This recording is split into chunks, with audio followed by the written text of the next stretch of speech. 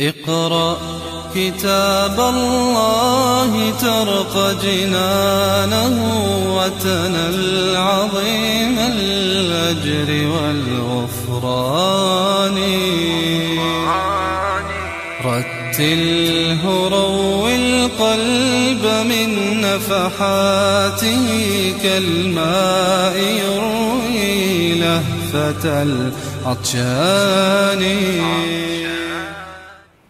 Jadi Allah kata jangan harta mereka dan anak mereka mengkagumkan engkau. Engkau ni siapa? Nabi Muhammad. Okey, soalan. Adakah harta mengkagumkan Nabi? Ha? Kalau tak, kenapa Allah larang? Kita larang ni sesuatu yang orang tu buat kan? Anak kita bermain. Bu, kita larang, jangan main. Kalau dia tak main, kenapa nak larang? Untuk? Ha, bila bila Allah bercakap tuju pada Nabi Muhammad, dia sama ada khas untuk Nabi, macam alam nasrah, laka sadrak, itu khas untuk Nabi. Ataupun sama ada untuk dia Allah cakap pada Nabi tapi sebenar arahan tu kepada umat dia. Jadi Nabi tak mungkin kagum dengan harta. Nabi tak mungkin tertipu dengan harta. Apa bukti? Ha, Nabi tak simpan harta. Bahkan ulama kata emas dengan batu bagi Nabi sama. Emas dengan batu bagi Nabi sama je. Buktinya Nabi bila dapat je Nabi tak masuk rumah, tak sempat harta tu masuk rumah, Nabi bagi-bagi bagi. Jadi kalau sifat macam tu, adakah patut Nabi kagum? Tak. Bahkan Nabi ditawarkan oleh Allah nak jadikan semua bukit-bukit di Mekah emas Nabi tolak. Dan juga Nabi diberi pilihan nak menjadi seorang Nabi yang bersifat raja. Ada kerajaan macam Nabi Sulaiman ataupun nak jadi Nabi yang bersifat hamba Nabi yang abdan. Nabi pilih untuk jadi Nabi yang hamba. Uh, ada ketika Nabi bagi pada orang miskin Arab Badui Nabi dia Nabi tak ada harta tapi biasa dapat harta rampasan. Ada satu ketika Nabi dapat harta rampasan kambing tu beratus ekor di lereng bukit tu penuh. Jadi orang miskin Arab Badui tengok. Tengok Nabi kata kamu kagum ke? Ya. Kamu nak tak? Nak. Nabi kata ambillah itu semua untuk kamu. Semua untuk kamu. Ini hadis sahih. Mana kambing beratus ekor di lereng bukit tu. Bila Nabi tengok orang badui ni terkejut dengan banyaknya harta, Nabi tanya, kamu nak ke? Nak. Okey, ambil semua untuk kamu. Maka orang Arab badui ni balik pada kaum dia bagi tahu aslimu, masuklah Islam dan berimanlah kepada Muhammad yang tak pernah takut kepada kefakiran. Betul tak dia tak takut pada kefakiran? Kalau dia takut pada kefakiran, dia bagi berapa? Kalau ada 100 ekor dia bagi berapa?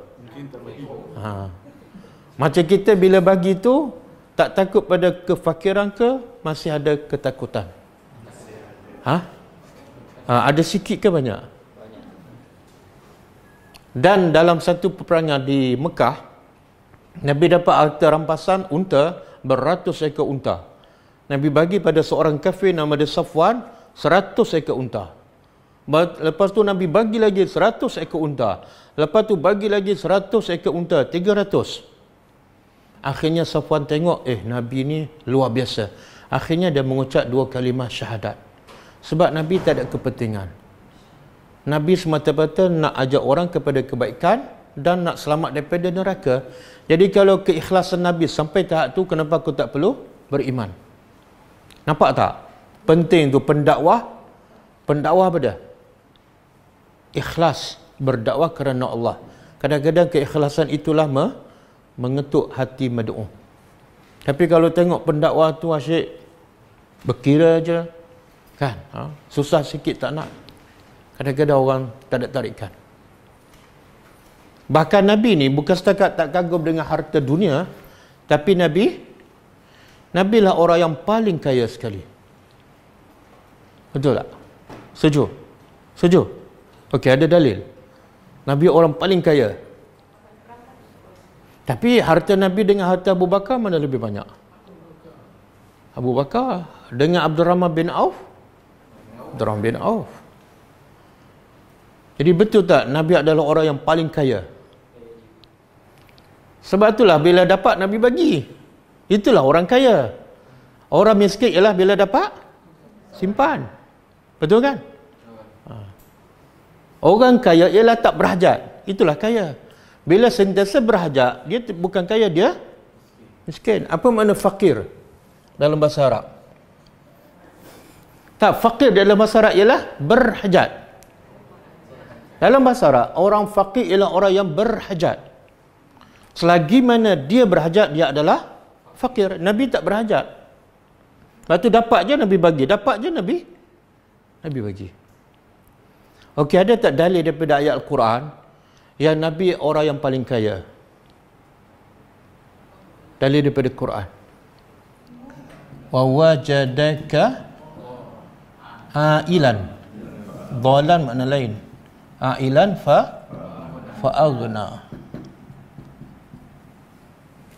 Surah Ad-Duha kan? Cuba terjemah. Wajada dia dia mendapati iaitu Allah. Dan dia iaitu Allah mendapati engkau ailan miskin.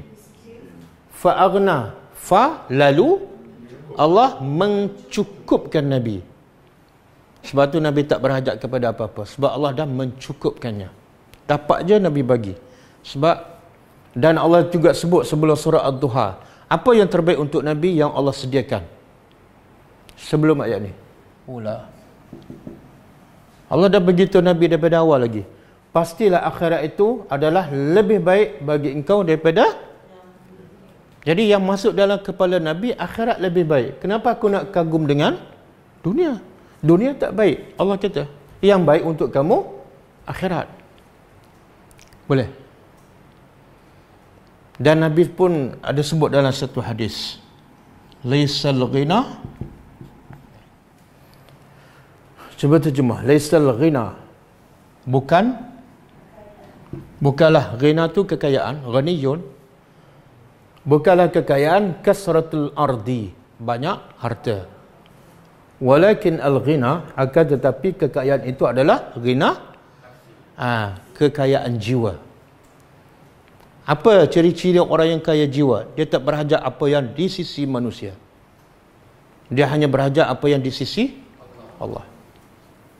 Jadi selagi mana kita berhajat harta dunia, Sebenarnya kita kaya ke fakir? Fakir. Okey. Salah ke ada harta banyak? Tak salah. Tapi niat dia bukan untuk kaya harta. Niat untuk kaya jiwa. Bila dia banyak harta, kalau dia kaya jiwa, dia buat apa?